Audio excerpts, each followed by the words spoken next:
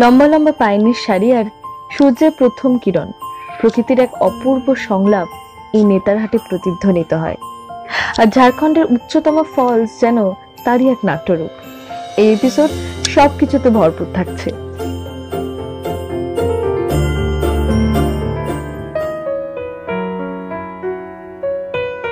শুরুর জার্নিটা ম্যাকলাক্সিগঞ্জ থেকে।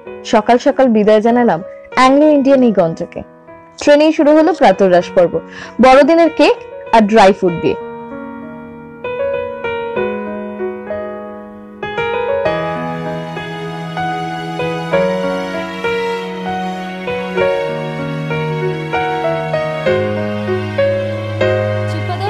আমরা নেমেছি ট্রেনে করে এবং চিপাদা স্টেশন থেকে বেরিয়েই একটা গ্রাম আছে।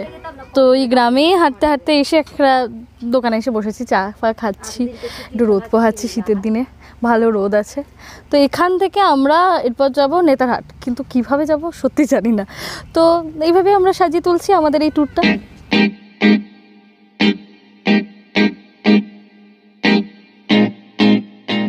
এদিকে এখনও প্রাকৃতিক সম্পদের পূর্ণ ব্যবহার। শালপাতায় গরম লিপটি খেয়ে উঠলাম গাড়িতে। জঙ্গলের মধ্যে দিয়ে এক ঘণ্টা চলার পর প্রকৃতির মাঝে দুদণ্ড বিশ্রাম নেওয়া গেল। ছবি টবি তোলার আর ছুতো আর কি।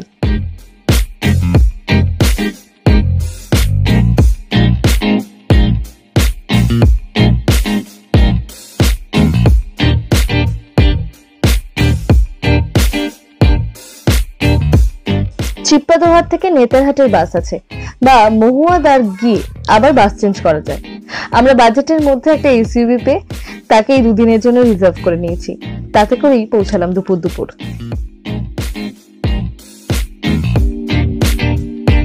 বড়দিনের দিন কেক খাব না তা কখনো হতে পারে, বলুন তো? আর আজকে বড়দিনটা আমরা কাটাচ্ছি নেতারহাট ডাকবাংলোতে। আর সঙ্গে এম্পেরিয়াল বেকারির বিখ্যাত কেক।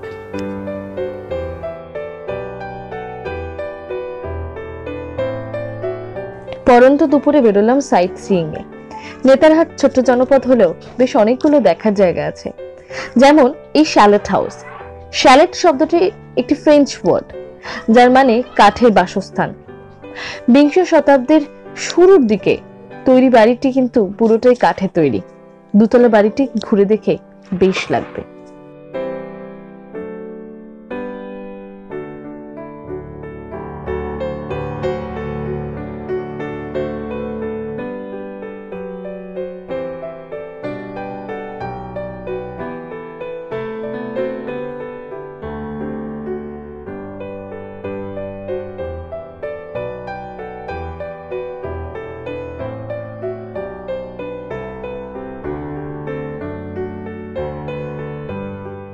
ঝাড়খণ্ডে ওয়াটারফলসের প্রাচুর্য। নেতারহাটের কাছে আপার ঘাগরি আর লোয়ার ঘাগরি ওয়াটারফলস অবস্থিত। এগুলো বর্ষার সময় যে রূপ থাকে, এখন শীতে একেবারেই তা নেই। তার উপর এই কৃত্রিম বদ্ধ জল দেখে খানিক হতাশ হয়ে আর লোয়ার ঘাগরির দিকে পা বাড়ালাম না।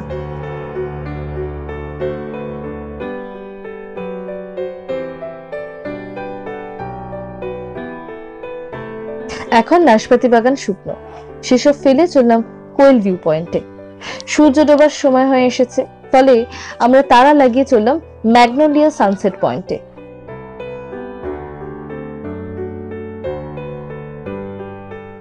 এই এপিসোড ভালো লাগলে একটা লাইক করে দেবেন প্লিজ আর ভালো না লাগলেও আমাদের বলুন, আপনার মতামত কিন্তু ভীষণ গুরুত্বপূর্ণ।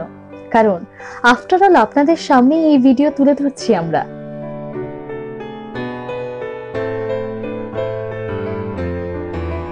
ব্রিটিশ রমণী ম্যাগনোলিয়ার সাথে স্থানীয় এক আদিবাসীর প্রেম কথা স্মরণ করে এই জায়গার নামকরণ, যেখানে ম্যাগনোলিয়া তার ঘোড়ায় চেপে আত্মহননের পথ হিসেবে বেছে নেয় এই স্থান।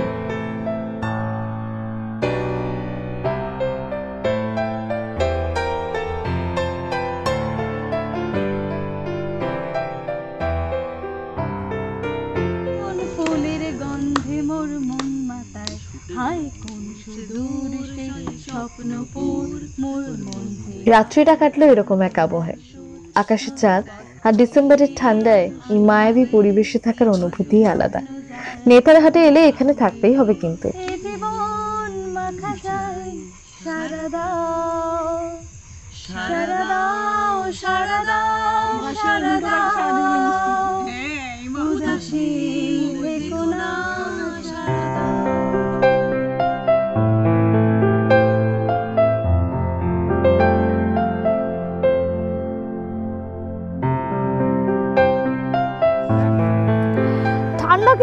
বেশি একটা নেই। মানে আজ থেকে কদিন আগে যে ঠান্ডাটা ছিল মানে পাঁচ ছয় চলে গেছিল প্রায় টেম্পারেচার সেই ঠান্ডাটা কিন্তু এখন আর নেই। আজকে যখন আমরা সানরাইজ পয়েন্টে যাচ্ছি তখন কত?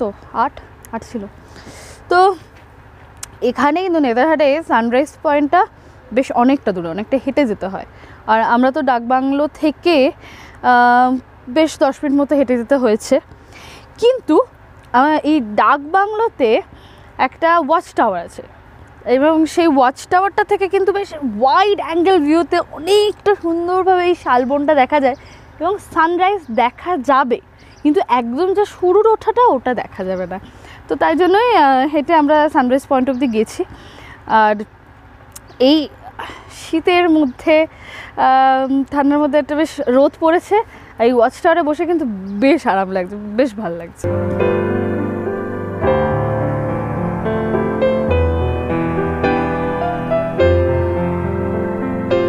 এটা নেতারহাটের হেরিটেজ প্রপার্টি সব মিলিয়ে চারটে রিল্যাক্স রুম আর আটটা স্ট্যান্ডার্ড রুম আছে। থাকতে হলে অনলাইন বুকিং করতে হবে। সব ডিটেলস ডিসক্রিপশনে দিলাম। এই ভিডিও ভালো লাগলে চ্যানেলটা সাবস্ক্রাইব করতে পারেন।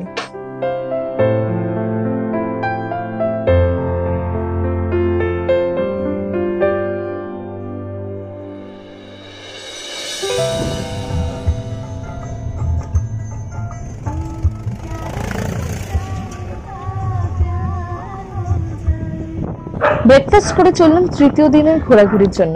নেতার হাট থেকে একষট্টি কিলোমিটার রাস্তা। বেশ কিছুটা আগে থেকে পাহাড় দেখে মন তো আনন্দে নেচে উঠল। এরকম সুন্দর ল্যান্ডস্কেপ পেলে আর কি চাই বলুন তো?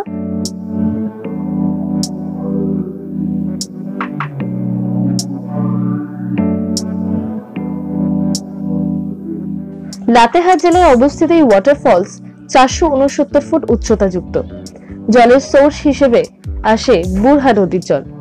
এখানেই অবস্থিত মহুয়াদার উলফ স্যাংচুয়ারি, যেখানে ছোট নাগপুর মালভূমির উলফ দেখতে পাওয়া যায়। এই হলো ঝাড়খণ্ডের সবচেয়ে বড় ওয়াটারফল লোথ ফলস আর এখানে আসতে গেলে কিন্তু অনেকটা হেঁটে আমাদের আসতে হয়েছে। এখন কিন্তু শীতকাল, শীতকালেই এই জলের বেগ। এটা যদি বর্ষাকালে আসা যায় না, এই জলের বেগ অফ মানে প্রচণ্ড বেড়ে যায়। তো এতটা হেঁটে এখানে আসার পর দিব্যি লাগছে, বেশ ভালো লাগছে।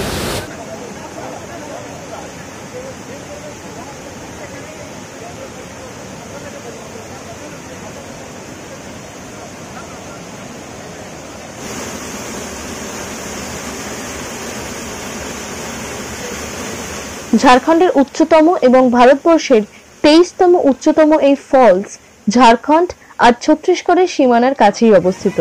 ফলে ছত্তিশগড় ভ্রমণে এলেও এখানে আসা যায়। আমরা ঘন্টাখানেক কাটিয়ে নামতে শুরু করলাম।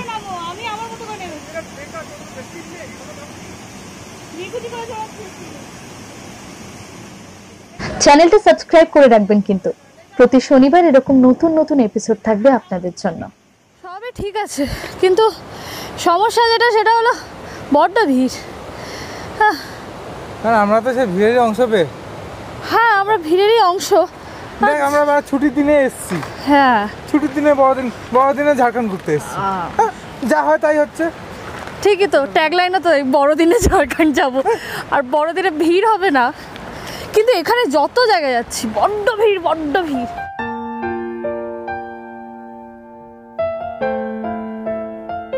নিচে পিকনিক পার্টির ভিড়ে আমরা এই ওয়াচ টাওয়ারেই কাটিয়ে দিলাম। তিনশো ষাট ডিগ্রি ল্যান্ডস্কেপ ভিউ নিচ থেকে অবশ্য পেতাম না। সূর্য পশ্চিমে ঢলে পড়ার আগেই আবার রওনা দিলাম, কারণ বেতলা এখনও সাতান্ন কিলোমিটার দূর।